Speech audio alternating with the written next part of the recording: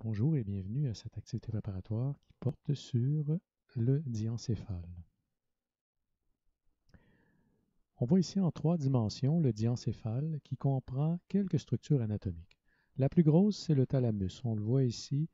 En fait, le thalamus se divise en deux parties. Une première partie qui est à gauche, à droite, pardon, et l'autre qui est euh, à gauche.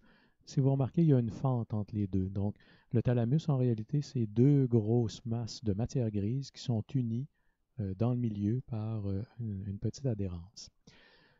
Vous avez une espèce de petite boule ici qui est en avant. C'est une glande qu'on appelle l'hypophyse, donc une glande qui sécrète énormément d'hormones. Juste au-dessus de l'hypophyse, devant le thalamus, donc on va attendre que le thalamus ait fini de tourner, ici, vous avez l'hypothalamus une structure petite mais très importante qui contrôle beaucoup de choses dans le corps humain. Et euh, finalement, en arrière ici, vous avez la glande pinéale, une espèce de petite bosse que vous allez revoir tourner. Cette glande pinéale-là est impliquée dans les rythmes circadiens, c'est-à-dire elle règle le fait qu'on soit éveillé le jour et qu'on a tendance à s'endormir lorsque la lumière diminue avec la nuit.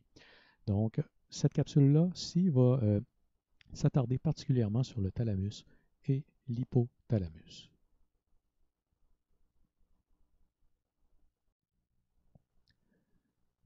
Le thalamus est une structure euh, qui comprend beaucoup de fonctions, mais on va s'attarder seulement sur quelques-unes euh, et on aura l'occasion d'en détailler d'autres plus tard dans la session.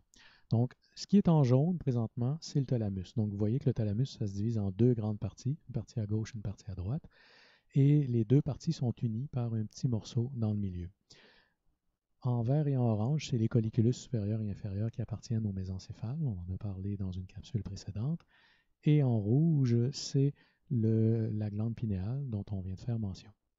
Donc, le thalamus a plusieurs fonctions, mais ses principales sont que c'est d'abord un centre de relais pour les influx nerveux sensitifs. Donc, si par exemple vous avez un neurone qui vient de votre euh, bras, ce ne sera pas rien qu'un neurone, mais bref, un influx nerveux qui arrive de votre bras pour vous dire j'ai un crayon dans les mains, ce neurone-là va faire synapse dans le thalamus avant de se rendre à l'aire somesthésique primaire. Donc, et à, cet endroit-là, il y aura euh, pas seulement une synapse avec ce neurone-là, mais il y en aura un paquet d'autres qui vont permettre au thalamus de communiquer adéquatement avec euh, l'aire somesthésique primaire. Une autre fonction importante, c'est que ce thalamus-là va recevoir des influx nerveux en provenance du cervelet, qu'on voit en ombrage ici, mais également des ganglions de la base, qu'on appelle aussi les noyaux gris centraux. Ces deux structures-là, le cervelet et le ganglion de la base, euh, sont impliqués dans la régulation des mouvements et de la posture.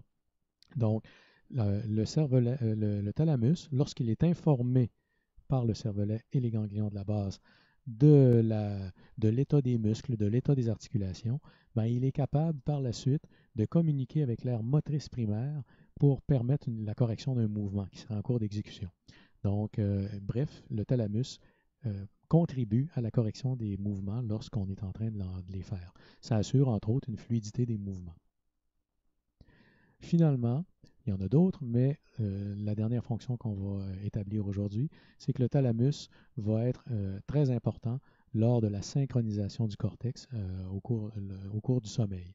Donc, vous allez voir ça en électrophysiologie médicale, mais également dans un cours ultérieur avec moi, comment ce thalamus-là prend le contrôle du cortex pour le synchroniser avec ses influx nerveux.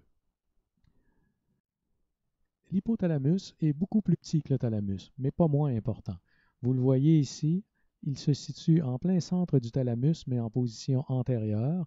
Il est également juste au-dessus de la glande hypophyse, qui n'est pas euh, surlignée ici, mais qu'on voit ici en espèce de petit ballon.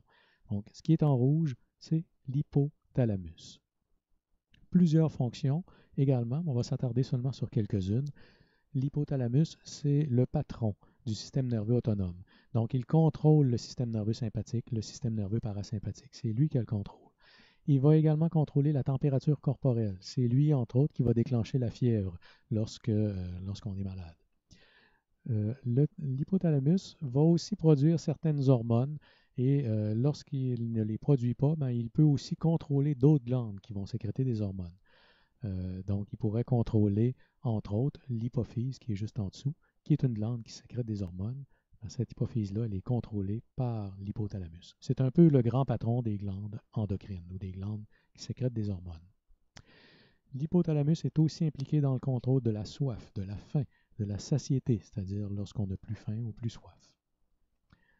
Il est également impliqué dans les émotions, entre autres euh, les, émotions qui sont impliquées euh, euh, dans, la colère. Il va aussi régir les réactions physiologiques impliquées dans les émotions.